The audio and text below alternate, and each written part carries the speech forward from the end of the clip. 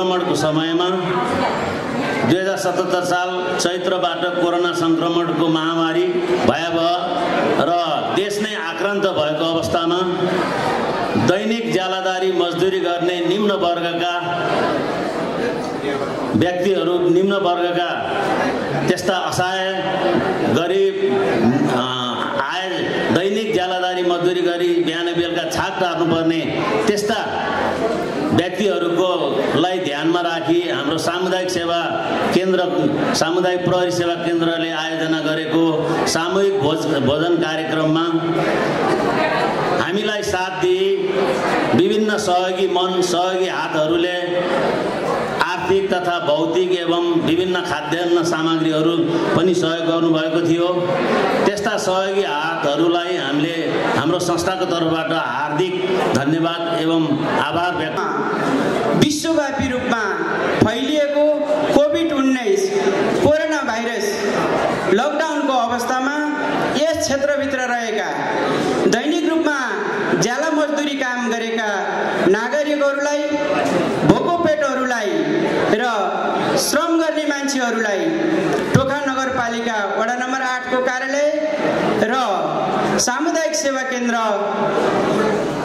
आठ नम्बरको सदस्य म रतन परियार र सिङ्गो सामुदायिक सेवा केन्द्रले मेच सञ्चालन गरेको थियो र टोखा नगरपालिका वडा नम्बर आठ र सामुदायिकले भुवनेश्वरी मन्दिरमा जुन खाना खुवाउने काम गरेको थियो र देशमा एकदमै राष्ट्रलाई राष्ट्र नै शोकाकुल भएको अवस्थामा र कोरोनाबाट पीडित भएका र कोरोनाबाट मृत्यु उनको चाहिँ हामीले चाहिँ नयाँ अनुभव गर्ने जनप्रतिले नयाँ अनुभव गर्ने कुरा पाइयो।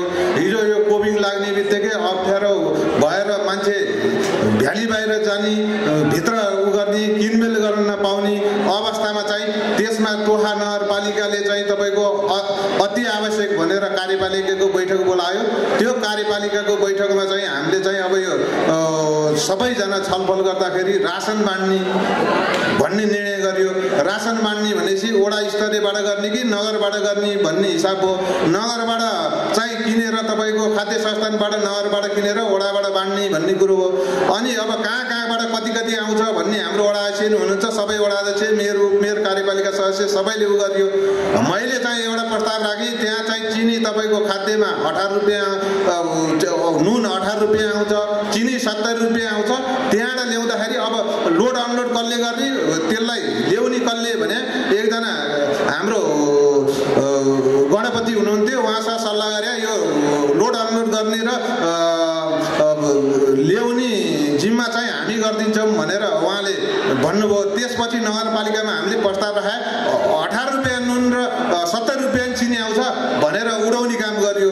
त्यसपछि अब अरू नगरपालिकामा त्यो असफल भइसकेपछि ओडामा ओडा साथीहरूलाई बैठक गरेर हामीले चाहिँ ओडाको निर्णय अनुसार तपाईँको चाहिँ खाद्य संस्थानबाट खाद्य सामग्रीहरू बोलाएर चाहिँ आर्मीको ट्रकमा ल्याएर खसालेर वितरण गर्ने प्रक्रियामा पनि उहाँले चाहिँ कति चाहिँ चाहिन्छ तपाईँहरूको घर घरमा पुर्याउने गरी हामीले चाहिँ सैनिक व्यवस्था गर्नु गर- गरिदिन्छु भन्नुहुन्थ्यो शिवपुरी ब्यारिङको वालाले त्यसलाई पर्दैन हाम्रा टोलका भाइ बहिनीहरूले पनि अब क्लबहरूले सबै दाजुभाइले सहयोग गर्नुहुन्छ भनेको त्यहाँ ल्याएर थुपारियो।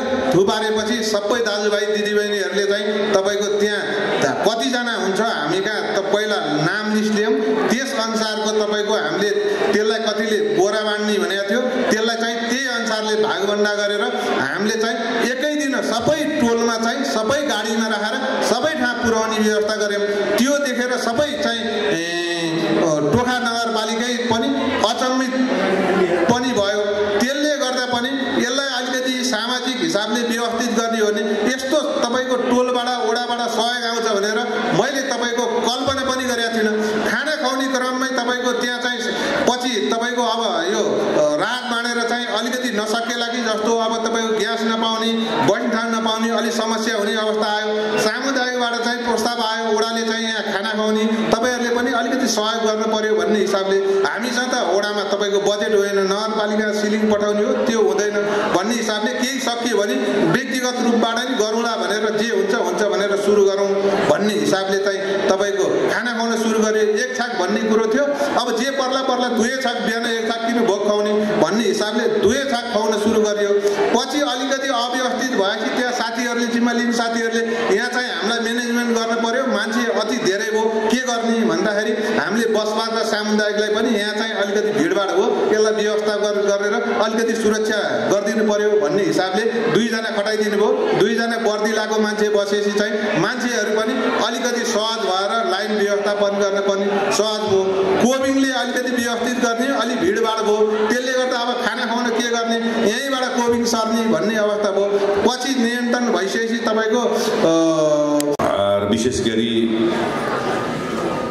टोखा मेगा सिटी एरियामा बस्तीहरू धेरै बढाएको छ र त्यहाँ प्रहरी चौकी या चाहिँ प्रहरी युनिट भइदेऊ खण्डमा धेरै राम्रो हुने थियो भन्ने किसिमको जुन कुरा आएर मैले एउटा निवेदन पनि पाएँ। म हजुरलाई यो यो कार्यक्रममा के आश्वासन म दिन चाहन्छु भने पक्कै पनि यो निवेदनमा हामी एकदम सकारात्मक छौँ? र यसमा कसरी के गर्न सकिन्छ? यसमा हामी पहल गर्छौँ पनि। तर यसमा केही सम एउटा केही लाग्छ है केही समय पनि लाग्न सक्छ। किनभने कुरा निस्क्यो त्यो सार्वजनिक जग्गा छ। सार्वजनिक जग्गा भन्ने बित्तिकै अब प्रहरीले एकैचोटि त्यहाँ पाउने होइन। हजुरहरूले चाहिँ विशेष गरी यो मेगा सिटी एरियामा बसोबास गर्ने बासिन्दाहरूले उहाँहरूले एउटा निवेदन दिनुभएको छ त्यहाँ प्रहरी युनिट आओस् भनेर। र प्रहरी युनिट आउने आउनको लागि त्यसका केही कुराहरू चाहिन्छ दुईवटा मुख्य कुरा। एउटा चाहिँ भौतिक पूर्वाधार एउटा जनशक्ति।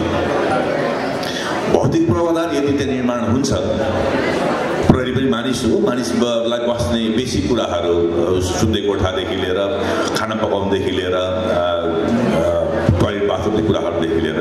यदि पूर्वाधारहरू बन्छ भने जनशक्ति पनि पछि समयमा अलिक कमी छ। तर पनि हामी त्यसलाई कसै गरी एडजस्ट गर्ने चाहिँ प्रयास गर्छौँ। म हजुरलाई म आश्वासन दिएँ। र यसको लागि म जसरी के गर्न सक्नुपर्ने हो म आफ्नो तर्फबाट पहल गर्छु पनि। र त्यसको लागि सबभन्दा पहिले तपाईँहरूले एउटा भौतिक पूर्वाधार निर्माण गरेका चाहिँ चाँडै गरिदिनु होला। म त्यसलाई म अनुरोध गर्नु चाहन्छु। र अर्को हाम्रो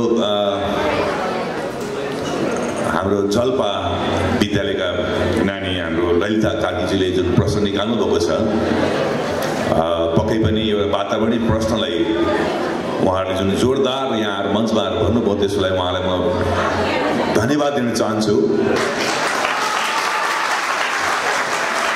र ललिता बहिनीले उठाउनुको इस्यु वास्तवमा धेरै जटिल इस्यु हो। हामीलाई यसमा त्यसबारे ध्यान दिनु जरुरी छ। अत्यन्त जरुरी छ। र सँगसँगै यो वातावरणीय सङ्कट यो वातावरणीय चाहिँ एउटा प्रदूषणको जुन एउटा सङ्कटलाई जुन उजाड गरिदिनु भयो तर त्योभन्दा पनि कम महत्त्वपूर्ण जस्तो लाग्दैन मलाई अर्को विषयवस्तु विशेष गरी यो कोभिड नाइन्टिनसँग जोडिएको छ त्यो पनि। कोभिड नाइन्टिन भनेको यो त्यो रोग हामीले सोचेको पनि थिएनौँ। हो हामी अगाडि हामी भुइँचालो देखाएका थियौँ बाढी पहिरो देखेका थियौँ आगलागी देखाएका थियौँ। यस्तो किसिमको प्रकोप हामी देखेका थिएनौँ त्यसलाई हामी कोही पनि त्यसको लागि तयारी पनि थिएनौँ समयले हामीलाई पाठ सिकाउँदै गयो हामीले विभिन्न किसिमका पूर्वाधारहरू चाहिँदो रहेछ भने हामी महसुस गऱ्यौँ म राम्ररी सम्झिन्छु अक्सिजन सिलिन्डरको कमीले गर्दाखेरि कस्तो भयावह स्थिति थियो अहिले पछिल्लो समय हेर्नुहोस् हस्पिटलमा कमसेकम लिक्विड सिलिन्डर अक्सिजनको लागि चाहिँ व्यवस्था भएको छ। अब त्यस्तो अवस्था नआउला। तर यो कोभिड नाइन्टिनको यो यो लहर यतिमा सीमित नहुन सक्छ। पछि थप लहर आउन सक्ने सम्भावनालाई पनि हामीले एउटा चाहिँ मनन गरौँ र त्यसको लागि बेलैमा त्यसको लागि गर्नुपर्ने तयारी चाहिँ गर्नु जरुरी छ र अहिले भएका पूर्वा पूर्वाधार पनि त्यतिकै महत्त्वपूर्ण पनि होला। र म अहिले ललिता बहिनीले निकालेको कुरासँग जोड्न चाहन्छु। कोभिड नाइन्टिनले एउटा अर्को सँगसँगै विकृति ल्याएको थियो है।